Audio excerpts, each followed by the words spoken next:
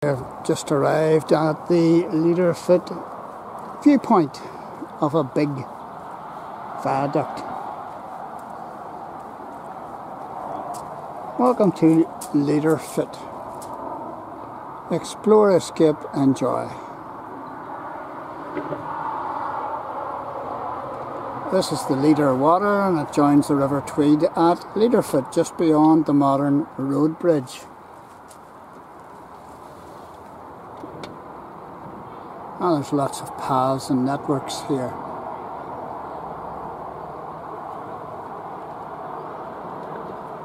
Well, there really is so much to see.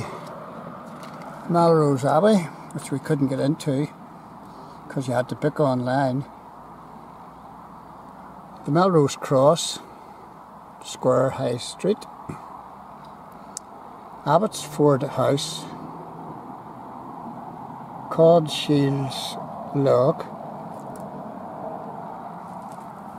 Bodwin uh, or Bowden Mere Reservoir, the Eildon Hills. Yeah, we drove past that there now. Dryburgh Abbey, which we want to see. The Temple of Muses. The Wallace statue, have to see that. The Trimontium stone, want to see that the Eildon Hills from Scott's View, I've seen that. Small Ho- Smailholm Tower, which we haven't seen, and the Earlston Memorial or War Memorial and Square. Haven't seen that. So we are here and we're looking at the Leaderfoot uh, viewpoint the Trimontium, the Roman fort, is just a long wee bit. So maybe we'll see that, I don't know. Aye, but I want another one. No. Well, alright, okay. I don't know. And this is what, what we've got. A massive big viaduct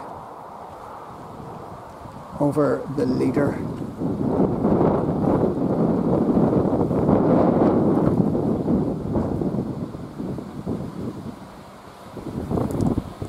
another bridge here. Look at this bridge. Wow.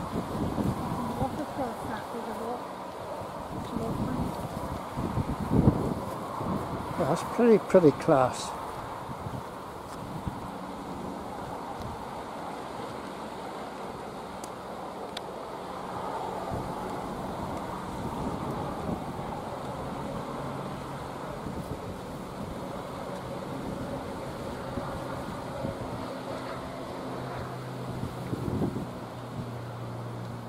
Is this a viaduct or was it a railway went over the top of this or still does? I just don't know. Let's have a look.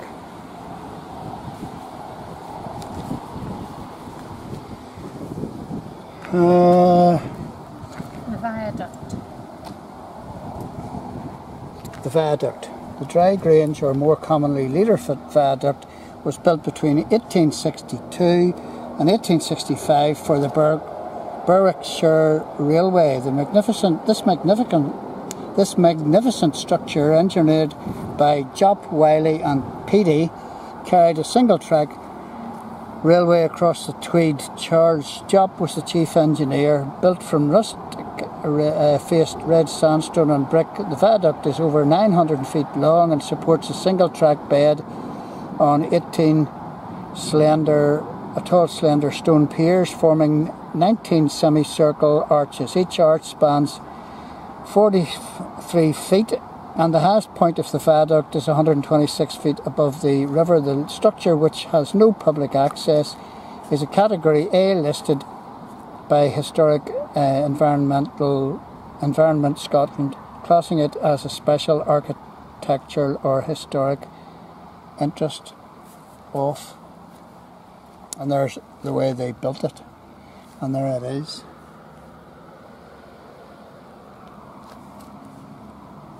and this um, crossing was a Roman crossing, they believe.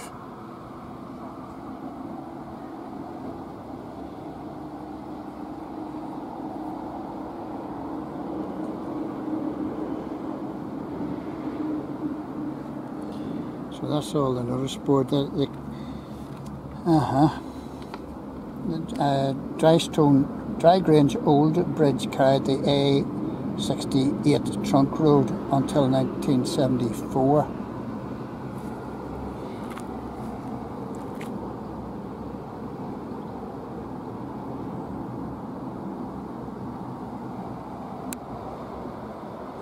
Right. So this is what you're looking at.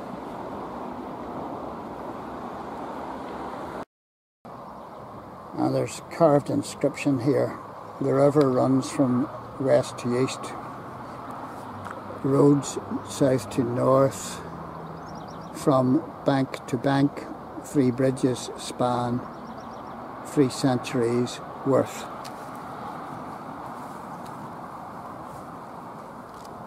I just can't read that just very well, sorry. But you might be able to.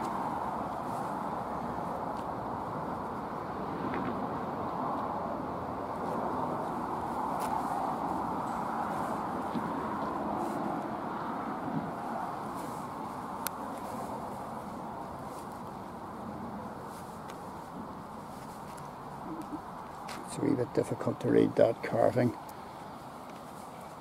And this is where we are.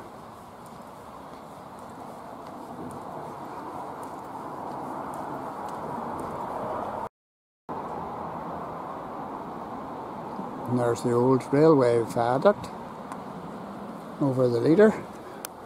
And this is the old A68, I think it is, over the Leader River as well. And this is the new span. I think that was built in uh, mid 70s. And it's some structure as well. And they got that into possession. I don't know.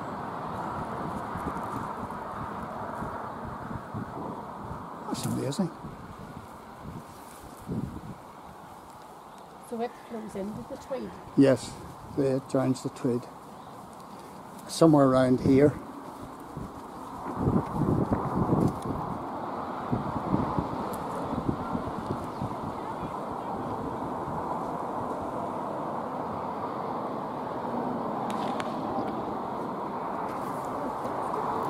It's down there. I heard somebody throwing stones. There's a guy down there. Is this? It's an amazing structure, isn't it?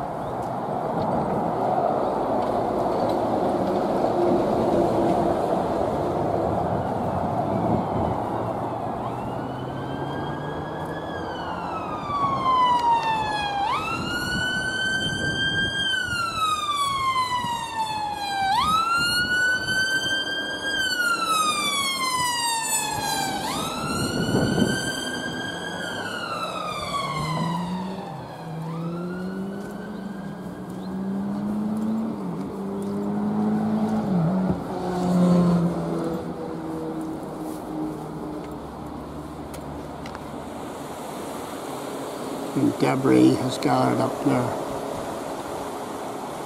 Shows you how uh, the river has fallen in this uh, very, very hot weather.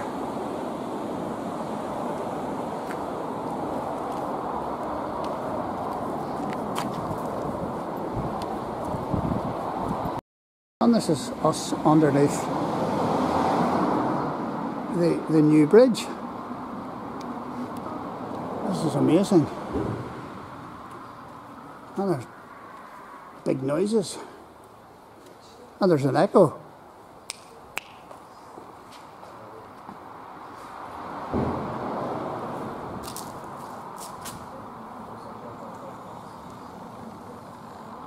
Wow.